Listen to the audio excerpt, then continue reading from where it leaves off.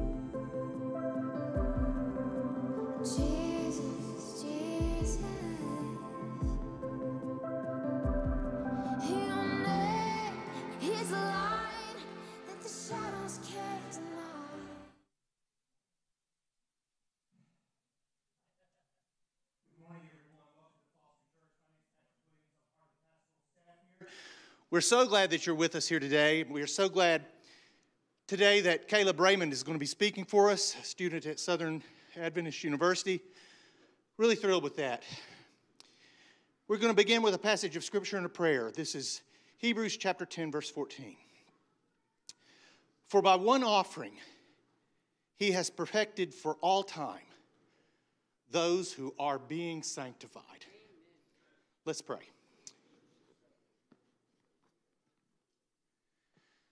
Gracious Father, we are so grateful this morning that we have been perfected in one offering, Jesus Christ.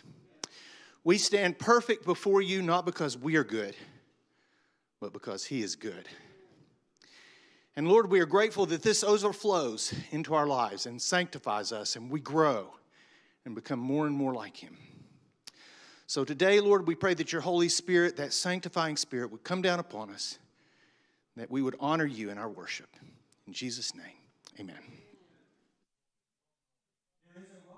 Let's go to There's it. this interesting phenomenon in physics where sound vibrations in one object can cause a nearby object to produce sound if the original sound is produced at just the right frequency or pitch. All material objects have what is called a resonant frequency, which is the natural frequency at which it vibrates, and a sound wave oscillating perfectly at the object's resonant frequency will cause it to start vibrating spontaneously. If, for instance, you were to hold down the G note on a piano so that the string is free to vibrate, and then you plunk the G note an octave below it, the vibration of the lower note will cause the higher string naturally to sound even though you didn't strike it, simply because the lower note is vibrating at the higher string's resonant frequency. A note that is sounded at the resonant frequency of a crystal goblet, if it's loud enough, will cause the goblet to vibrate so much that it shatters. This is called sympathetic vibration, and not only does it make for some fascinating science experiments, it also provides us with a vivid analogy for an aspect of the Christian life that is absolutely vital but often overlooked, something called sanctification. Sanctification refers to the process whereby Christians become holy. It is about acquiring and living in holiness, and the Bible's quite clear that this is essential to the Christian life. In one place, it says it as bluntly as can be that without holiness, no one can see God.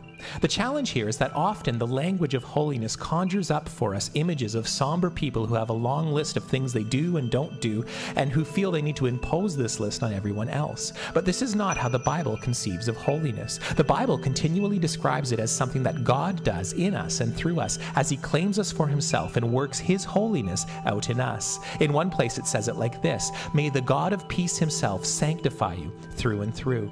In this sense, holiness is an objective characteristic or quality that God imparts to those who belong to Jesus, not a subjective quality that we obtain through moral effort. We are, in one sense, passive recipients of our holiness. And yet, at the same time, holiness is, in fact, about a way of life. It is about men and women actively thinking and speaking and living in a way that reflects God's own holiness. In one place, the Bible says we are to present ourselves as living sacrifices, holy and acceptable to God. In another place, it says we are to work out our salvation with fear and trembling. Well, these two pictures of holiness, that it is something we passively receive, but also something we actively pursue, can be brought together perhaps if we think about it with the analogy of sympathetic vibration. Because in sympathetic vibration, the sounding note is at just such a frequency that it causes the adjacent object to vibrate spontaneously. And at the same time, there is something about the nature of the object that it will vibrate if it meets a sound wave at the perfect pitch. Our holiness is a matter of our sympathetic vibration, so to speak, with God's own holiness. The sounding note, you might say, is the Holy Spirit. And because this note is indeed a perfect pitch, perfectly conveying to us God's perfect holiness, when it comes into contact with our hearts, passive though they may be, it causes us to begin vibrating in sympathetic harmony with Him. That is to say, our thoughts and words and deeds take on the character and the quality of His thoughts and words and deeds. In this way, we are altogether passive in our sanctification and yet deeply active as we live in harmony with His holiness. Or as the Bible says it, we will be holy because He Himself is holy.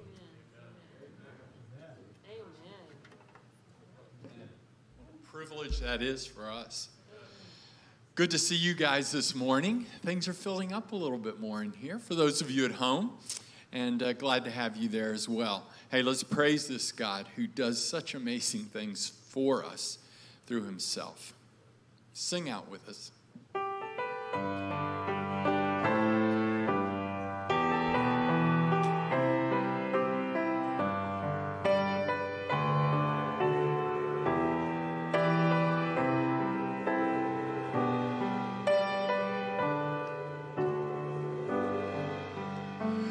When I see the beauty beauty of the sunset's glory, amazing artistry across the evening sky.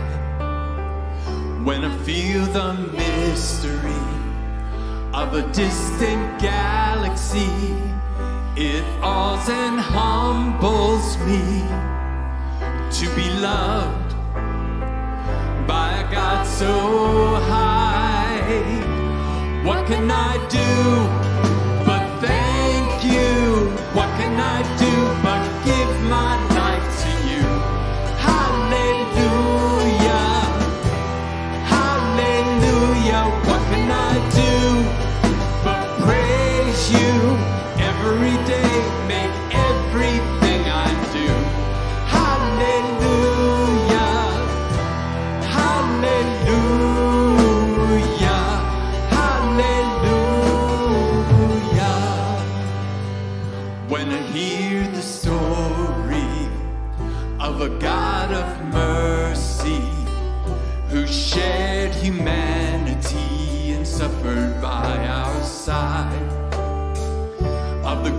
they nailed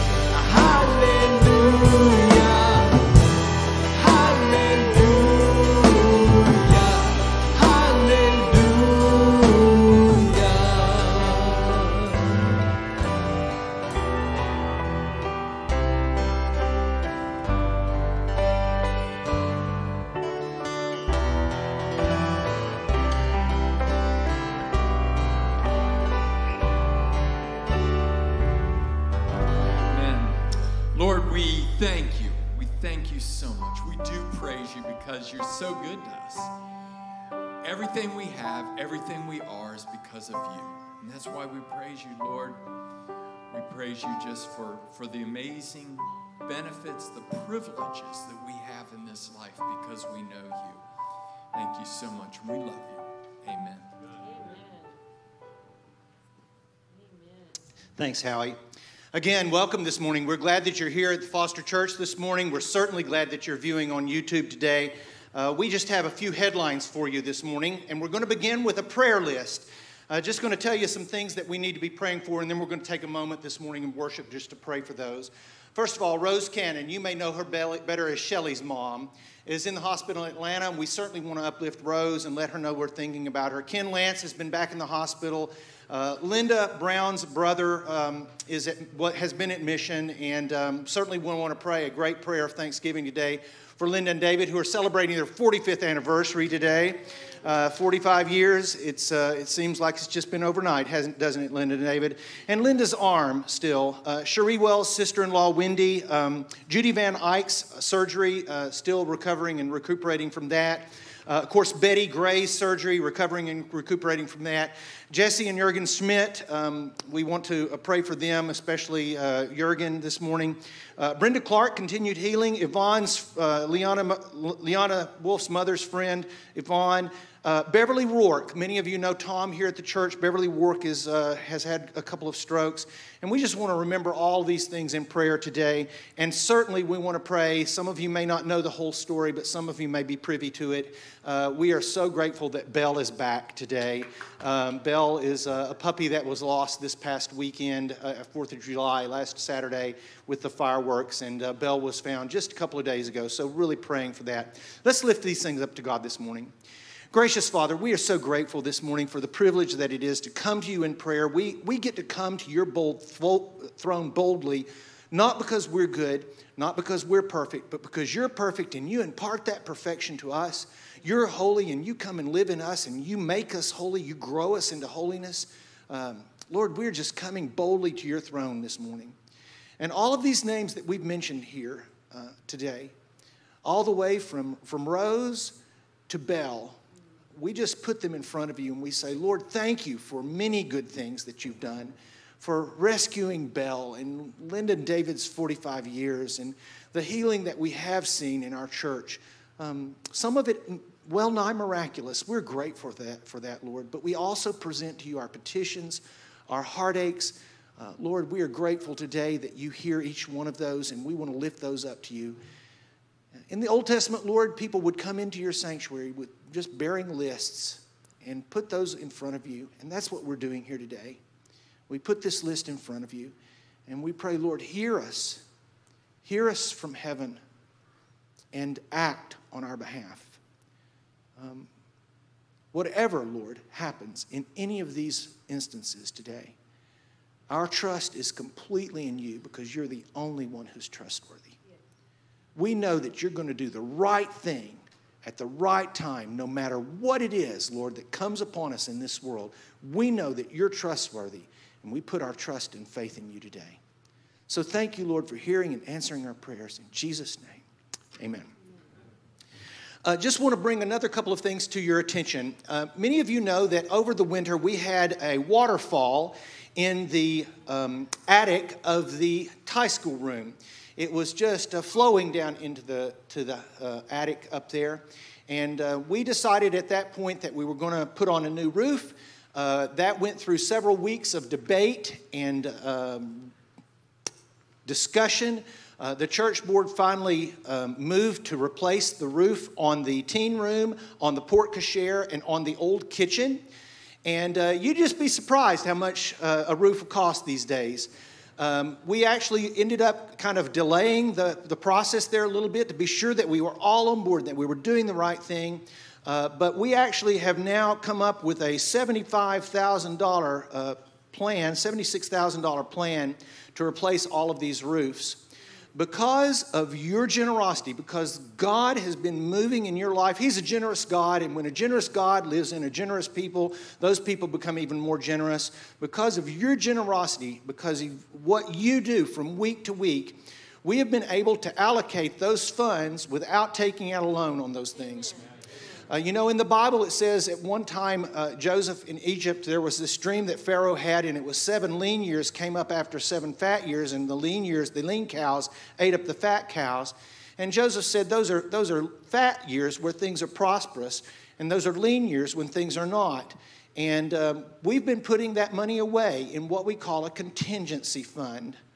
And if you get the church email, if you'd like to sign up for that, you can do that. But the contingency fund is where we took $46,000 of that money. Uh, we've been salting it away because we know that things like this are going to happen. The contingency fund we generally keep at roughly three months' operating expenses for this church. So if there's a catastrophe that happens, we will be able to go on business as usual in this church for three months. Um, that fund went from $75,000, $75,568.72 In one fell swoop, it went down to $29,093.72. So, what we're going to ask for you to do is between now and the end of the year, when you're doing your church budget offering, we're going to ask you to go ahead and pay your church budget as you all are doing, amazingly doing. It's just incredible to me how generous uh, this church is. Um, not just for church budget, but for people who've been in need over the past three or four months. It's just incredible what you do as a church. Uh, we're going to ask you to maybe put in just another dollar or two into the contingency fund. We're going to ask you to market contingency fund roof repair. And we want to get that back up to where we have three months operating expenses in the bank so that if anything happens, uh, we can handle that. Uh, I think that's uh, enough said about that. Just amazing that we're able to put on those roofs uh, just without borrowing a dime. It's just, isn't that wonderful? It's just wonderful. Um, I think that that's all that I have today, and I have something here from APCS Day Camp. Uh, Caleb is going to come up, and we're going to have some slides this morning. Is that on the agenda? Where are they? Here he is. You want to give me a hand wipe there? He's wired. He's wired. Go for it, Caleb. Hello? Oh, perfect.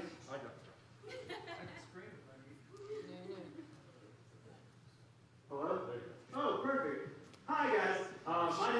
Caleb Raymond. I am the worship director for the APCS Kids Camp, and this is Katie Robertson. She is the assistant to our director, Jake Miller, um, who unfortunately is not here today. He had some business to attend to outside of state. Um, but we would just like to talk to you guys a little bit about what's happening over at APCS. Uh, Jake Miller came to me earlier in the summer and was like, hey, bro, um, you want to start kids camp? And I was like, yeah, let's do it. and so he got to work. Jake has just done absolutely amazingly. And I don't know about Katie or our arts director back there, Nicole, but I have had an amazing summer getting to spend some time with kids, getting to share the love of Jesus, and to just have a lot of fun. Uh, but unfortunately, this next week is going to be our last week but we are going to go out with a bang. That means bigger games, bigger crafts, bigger science experiments, bigger explosions in science. I'm kidding.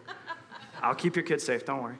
Um, but what, I, what I'm trying to say is next week, if your kid has not come to kids camp yet, next week is the week to do it. One, because it's the last week. Two, because it's going to be absolutely amazingly fun. Um, what was that? Foster members get 50% off. Now, if that isn't a deal, I don't know what is. also, if you bring your kid on Monday and you sign up for the entire week, you will get uh, 10% off for it as well. Um, we have flyers in the on the table right outside in the lobby, and also in the lower lobby on the table down there. I believe is where it is. Awesome. Um, so if you want more information, you can grab one of those, or you can go on our Facebook page, APCS Kids Camp, or Instagram page, and shoot us a DM if you would like some more information. Or um, you can come talk to me afterwards, or Katie, um, and we'll give you some more information, give you Jake's number or our numbers, and keep you in contact. So if it's something that you guys would be interested in, um, those are the avenues of which you can pursue it. Thank you guys so much, and happy Sabbath.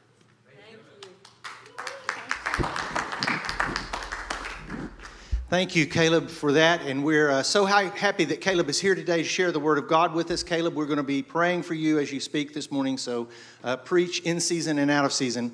It's time now for a children's story. We're going to ask Pastor Courtney to come up. All right, good morning. Happy Sabbath. Kids, you're going to have to stay at your seat today. I, we usually on Children's Sabbath have kids do songs with us, and it's so much fun. So we're sorry that we can't do that today, but I have a story, and actually, uh, Pastor Patrick already mentioned it a little bit. This week, our friend Isla and her little sister Eloise, I know many of you know the Schneppers, Catherine and Greg. And um, this past week on the 4th of July, they had a dog sitter because they were out of state visiting um, their uh, grandparents and family in Oregon. So they were way far away. And they had a dog sitter. And this dog sitter had a fence, and it was like the first day that Belle was there, and she got startled by this firework, and she somehow either scaled the fence or wiggled herself through, and she went missing. Now, my neighbor actually breeds Labradoodles, and so it's a lot of fun. We get to play with a lot of puppies. And so this dog is actually from her, and they have this little program where you get the dog, but then you get um, to get a discount, and then you can, for five litters, so she'll have five litters of puppies for the breeding program, and then go back to their house. So that's who Belle is. So she also um, is connected to our neighbor. So I found out, my neighbor called me at like, or texted me at like 9.45 and said, Bella's missing, I'm gonna go look, out, look for her. Another detail is my neighbor is seven months pregnant. So I went with her to try to help look for Belle. So from Saturday night, 4th of July, until Thursday morning, we were searching and looking and calling shelters and posting flyers and our Facebook shares. I know probably almost all of you in here have shared that on Facebook. Our the church post got over 3,000 shares. It was amazing how many people came together to find this sweet, sweet puppy. And so it just felt like every day that went by was a little more worrisome, a little more stressful, a little more, boy, what's going to happen? And at one point, I think one of the girls was saying, Why? And my kids were kind of wondering too, why is God not answering our prayer? Why do we not have Belle? Why isn't she back? Why haven't we found her? And so then somebody spotted her outside of their yards by the woods. And so Catherine ran there. And when she saw Belle in the tree line, she sat down and she sang to her. Isn't that sweet? She sang to her. So she sang to Sweet Belle, and Belle came to her, and that was that. She was found and rescued. And it just was so beautiful because it not only shows how wonderful God is and how He does answer our prayers, but it also shows how much He cares in that that was a puppy. That was a puppy that we cared so much about. We spent all that time and energy, especially Catherine, all that time and energy and love into a puppy. So, how much more does God love us? How much more does God search for us every single day of our lives? God is searching for you every single day in the same way that we were searching for Belle all week. One verse that I sent during the week that I want to share with you, and I like the contemporary English version a lot, so that's why I've got it on my phone here is from 1 Corinthians chapter 1 verses 3 through 9. I'm going to read that to you now. My prayer is that God our Father and the Lord Jesus Christ will be kind to you and will bless you with peace. I never stop thanking my God for being kind enough to give you Christ Jesus, who helps you speak and understand so well. Now you are certain that everything we told you about our Lord Christ Jesus is true. I know that for my kids, and I'm guessing for Isla and Eloise, they know that that's true more than ever after this week. You are not missing out on any blessings as you wait for him to return. And until the day Christ does return, he will keep you completely innocent. God can be trusted. And he chose you to be partners with his son, our Lord Jesus Christ. Let's pray. Father, thank you so, so much for caring about us. We love Belle and we're so thankful we found her. And God, you are a God that answers prayers. You care about the little ones. You care about children and you care about our little prayers and our big prayers. God, we trust in you and ask, ask that you be with us this Sabbath day. In Jesus' name I pray, amen. And still looking forward to you kids getting back up here. That's going to be a, a, a, fun day when we can all be up here singing again. For right now, sing out loud there, home or here, wherever you happen to be. Praise the Lord. His mercy is more stronger than darkness and new every morn. How sins they are men, His mercy is more.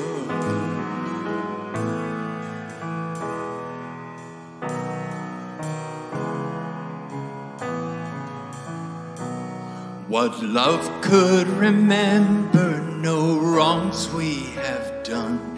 Omniscient, all knowing, he counts not their sum. Thrown into a sea without bottom or shore. Our sins, they are many, his mercy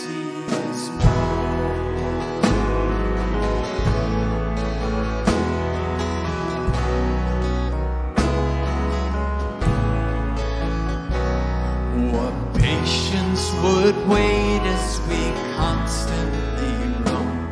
What father so tender is calling us home? He welcomes the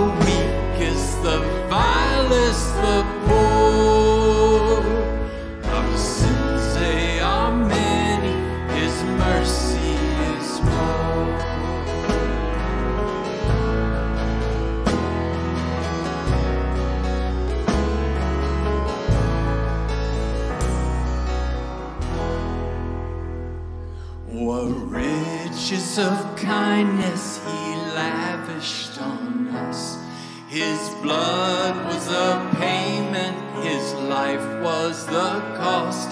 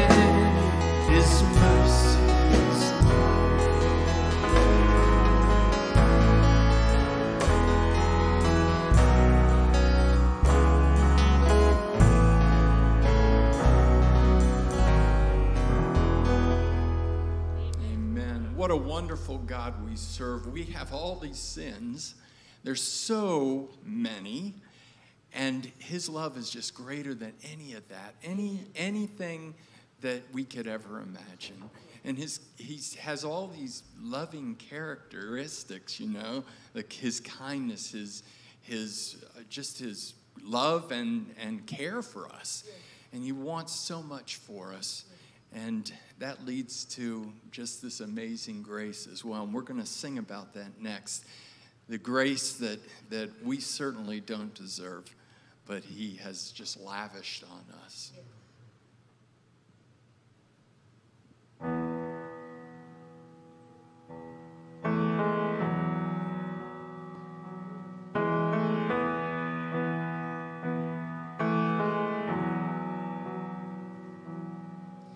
Amazing grace, how sweet that saved a wretch like me. I once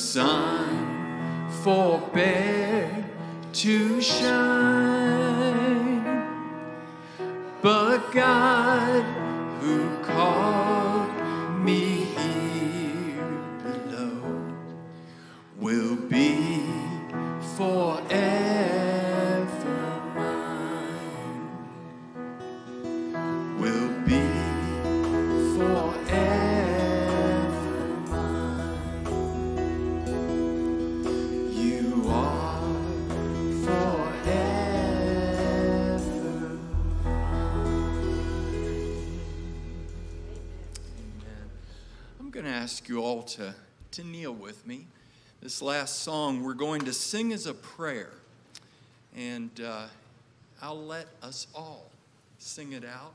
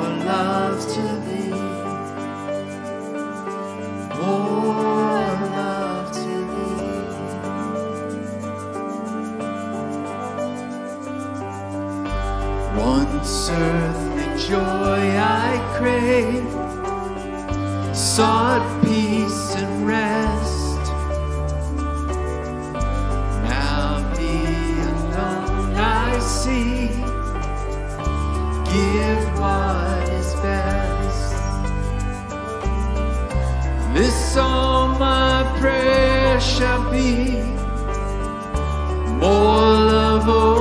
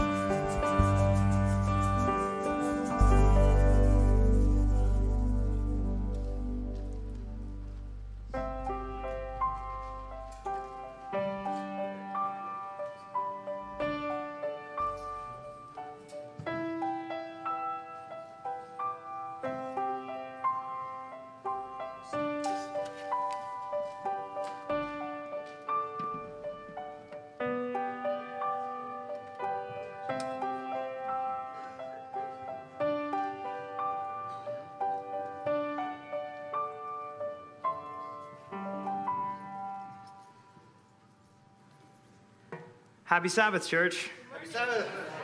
Good morning. You guys have an absolutely beautiful state. Did you guys know that? Oh, yeah.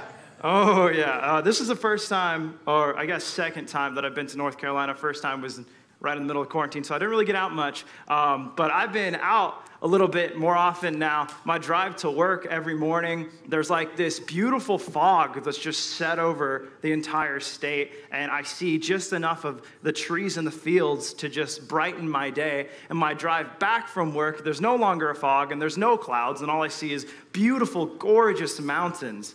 Two weekends ago, me and my friends went on a hike to Catawba Falls. If you guys haven't been there, you should go.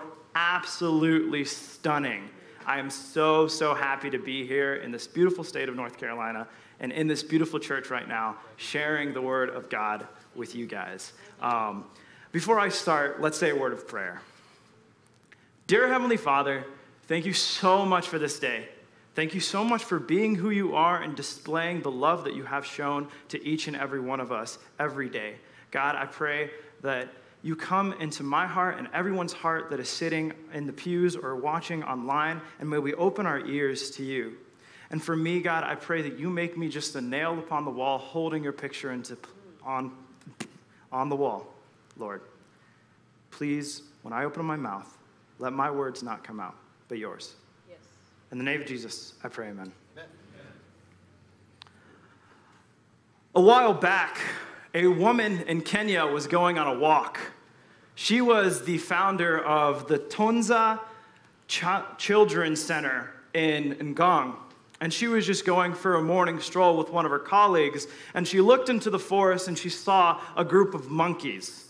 Nothing unusual, um, but upon closer inspection, she saw what looked to be a young child with the monkeys. Strange. So she walked a little closer. She took a little bit more time in inspecting what she thought was a child, and she came to the realization that that was indeed a child just chilling with the monkeys. She thought that's probably not the best place for a child, so her and her colleague got some food. Um, well, first they tried to take the, the child from the monkeys, but the monkeys weren't having it. They would chase, chase the woman and her colleague off, and so they, they decided that they were going to go grab some food and see if they could distract the monkeys. So they grabbed them some bananas and some bread, and they put it out by the monkeys, and the monkeys got completely distracted with that. Their entire focus was on feeding themselves, leaving the child alone and defenseless. So the woman and her colleague grabbed the child and took her to the child center that they had in Ngong. They named the young woman Charity. Um, and I, I watched a few videos on this young woman um, they don't know how long she was in the care of monkeys, but long enough that she adapted monkey society. When they would give this young woman food on a plate, she would take the plate, throw the food on the ground, throw the plate away, and eat the food off the ground because that's all she knew. In the video that I watched, she was crouched down like a monkey in the corner with her whole hand in her mouth, sitting there for comfort. When, when a person would approach her, she would screech like a monkey would. And upon further research, I, I found that this was not a one of a kind thing that happened.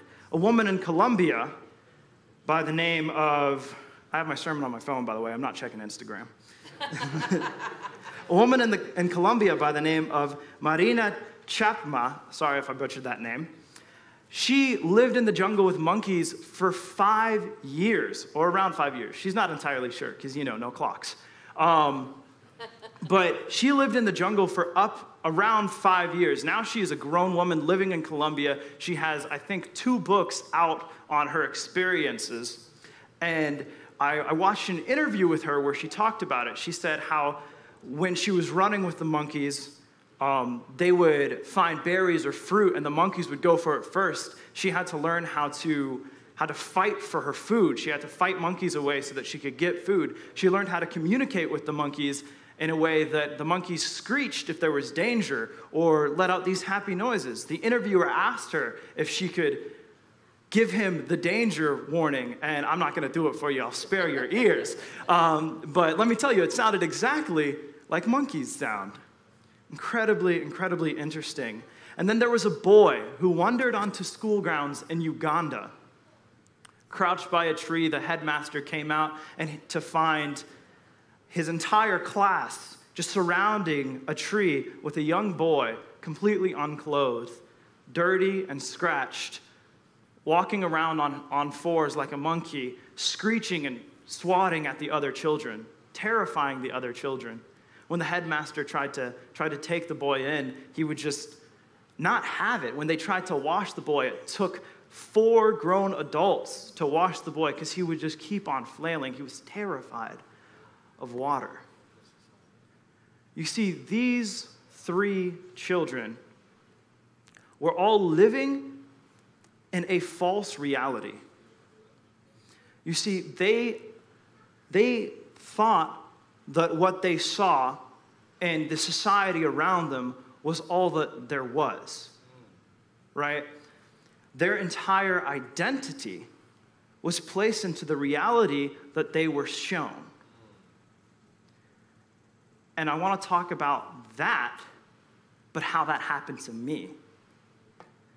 You see, when I was younger, I don't know if I was just not getting it or if the devil was just working really hard to try and distract me, but I could not understand Christianity. I had this false reality that I believed in that completely warped my view of the gospel. I have it written down here so that I don't so that I don't mess it up. I always struggled with the fact that we are called to live a perfect life and to emulate the life of Christ. As a child, I would hope and wish that I could live as Christ lived. And I'm not saying that's not what we should be teaching our children. What I'm saying is, I wish someone taught me that's not only my responsibility to bring my character to that point. You see, the mindset that I had is that I needed to achieve perfection on my own and because I had that mindset, I identified myself as a failure because I would fail at achieving perfection. the reality around me taught me that humanity was flawed and imperfect, which is true, but that's all it taught me. And so I was left with this idea that here I am, a broken, no good for nothing sinner, and, and what am I going to do about it? So I tried, I tried so hard to be good. I tried so hard to be perfect. And every time I would slip up, the devil would attack me. And even now, when I slip up, the devil attacks me. And I know that everyone in this church knows exactly what I'm talking about. Where you make a mistake and you look in the mirror and you say, mm, Caleb, come on, man. Are you really this, this low? Are you really this dumb? Are you really just going to continue on doing this, doing that? And it, it destroyed me, it brought me down. I was living in a false reality, and so I identified as a failure because that's what the reality I was living in told me. And then one day, my reality switched. I was working at a summer camp in Maryland, Mount Aetna summer camp, and I was, I believe I was a uh, maintenance man there at that point but I, I, was, I was sitting down on a bunk bed and I got in a conversation with one of my friends, Ben Williams. He's now in seminary at Andrews, got hired at Hawaii. Sorry, I'm going off on a tangent. I, I do that a lot. Um, but, but I was sitting on a bunk bed having a conversation with Ben Williams. And Ben Williams asked me a question and he said, Caleb, are you perfect? And that pricked a vein for me. I was like, of course not, man. I, I, I'm human. I'm not perfect. I, there's nothing that I can do to make me perfect. I'm just, I'm just trying to be the best that I can be. So then he asked another question. Okay, well, Caleb, do you think if God came right now, in this second, would you go to heaven? I was like, well, I hope so. I mean, I love the Lord. I pray to him. I hope so. And Ben said, But you're still identifying with your sin, aren't you? You're still not saying that you're perfect. I was like, Well, that's because I'm human. I can't be perfect. And Ben said, Well, that's where you're wrong. And he opened up the Bible to Hebrews 10 14, which reads in the NIV, I believe, For by one sacrifice he has made perfect forever those who are being made holy. And in that moment, I felt like a child that used to be squatted in the jungle, surrounded by monkeys, seeing another person for the first time. And everything that I had ever learned about Christianity made sense at that one point in time. You see, I've started doing a little bit more research now that I've grown older and have this new understanding. And I found someone in the Bible that gets it just like I did, that got it and had a realization, a revelation just like I did. His name is Paul, and it used to be Saul. On the road to Damascus, God opened up his eyes and showed him Hebrews 10 14. I don't know if he actually showed him that, but I like to think that. you see, Paul understands it. Paul wrote in Romans 8, verse 1. Follow along with me if you can. Say amen when you got it. Paul wrote in Romans 8, verse 1 Therefore, there is now no condemnation for those who are in Christ Jesus because through Christ Jesus, the law of the Spirit gives life, has set you free from the law of sin and death. For what the law was powerless to do because it was weakened by the flesh, God did by sending his own Son in the likeness of sinful flesh to be a sin offering. And so he condemned sin in the flesh in order that righteousness the righteous requirement of the law may be fully met in us who do not live according to the flesh, but according to spirit.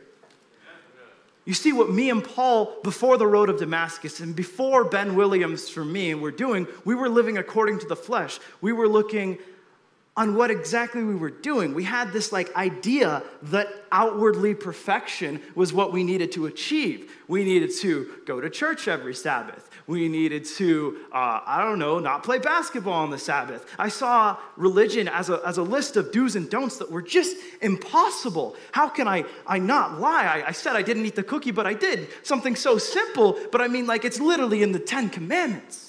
When I look at a Ferrari, I'm like, hey, that's a nice Ferrari. I want it. Boom, jealousy, covetousness. How can I how can I stray away from this sinful nature that is so deeply rooted in my flesh? But Paul says that the flesh, oh, it doesn't matter anymore.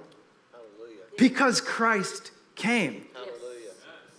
And I know I'm not the only one that struggled with this idea, and I know that because it's been a struggle for the church ever since it started.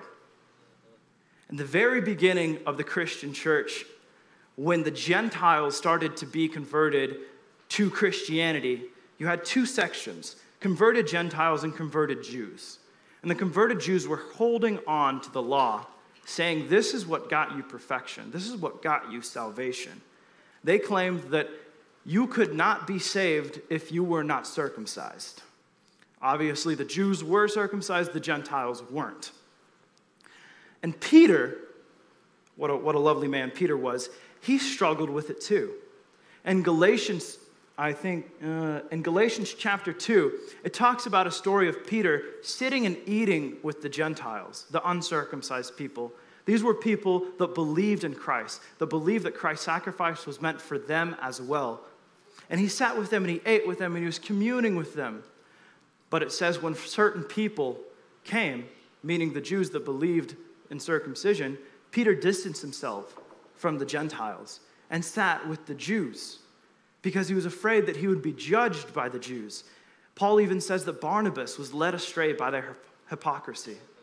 And so Paul does not sit around and watch this happen. Paul calls him out. And Paul says in Galatians 12, going back a little bit, for before certain men came from James, he, Peter, was eating with the Gentiles. But when they came, but when they came, he drew back and separated himself, fearing the circumcision party.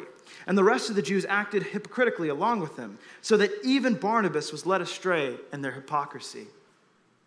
They thought that circumcision was what you do to gain salvation. I look back at that now and I'm like, come on, guys.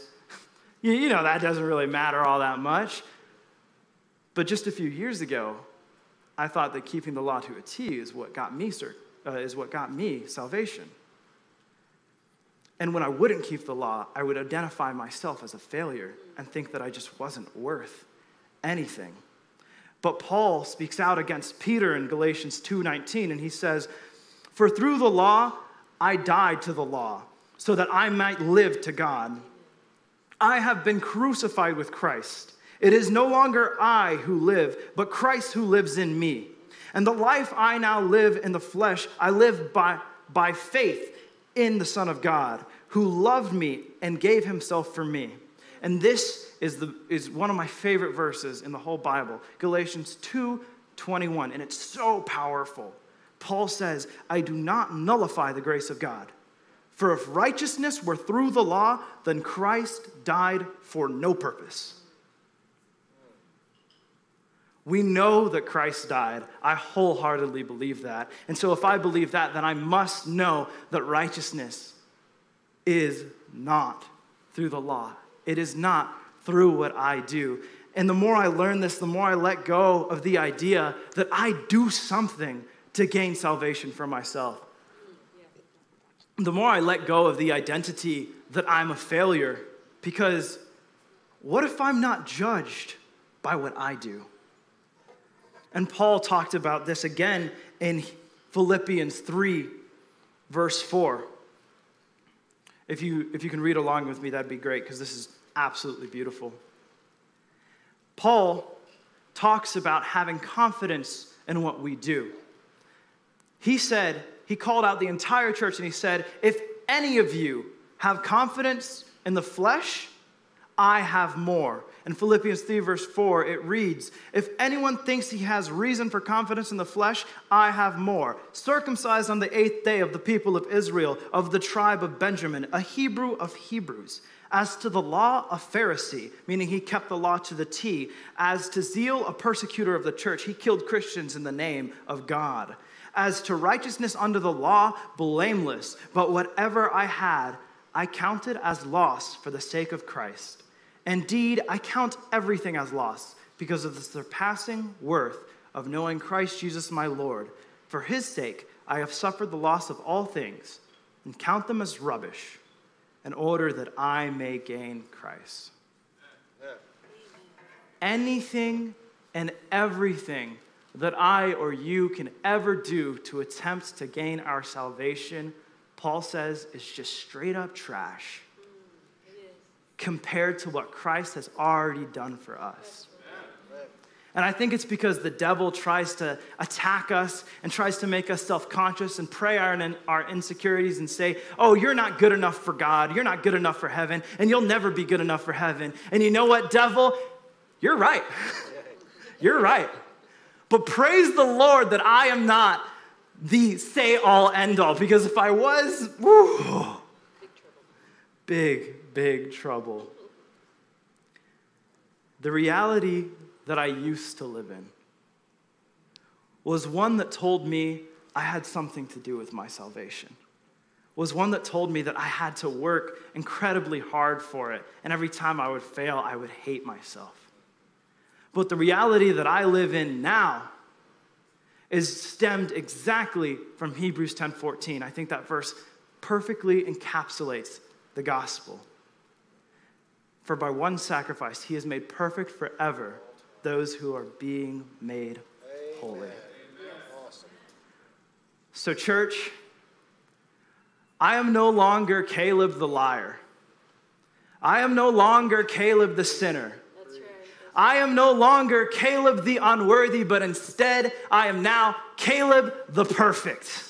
Because Christ has made me perfect. And I will proclaim that my entire life. And I pray to God that you guys will also proclaim that.